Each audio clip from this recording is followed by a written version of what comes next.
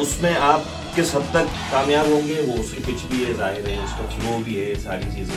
लेकिन आपको उसको अलग करना है। अगर वो अलग नहीं करेंगे तो वो व्यू नहीं बनता याद है क्योंकि वो हमें याद करवाई गई है। तो इसीलिए वो बोली भी इस तरह से जाती है कि वो याद रहे। लेकिन मुझे आइडिया ये हो जाना चाहिए कि ये मुझसे क्या पिच मांग रहा है, ठीक है? और ये मुझसे क्या टाइम मांग रहा है।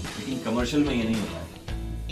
क्यों? क्योंकि उस चीज़ ने बार बार रिपीट होना है और वहाँ ज़ाहिर है कि कॉस्ट का इशू है। उसने पैसे लगाए प्रोडक्ट पे, उसने आप पे पैसे लगाए उसको रिटर्न चाहिए। पोस्टर बहुत इंपॉर्टेंट है। आप कैसे बोल रहे हैं? तो पूरा आपके सांस, उसके बाद आप पूरी पावर से बोल सकते हैं। आपकी जो माइक इतना सेंसिटिव होता है कि ये सारी चीज़ें पकड़ेगा। Media Minds, Trendsetters in Media Trainings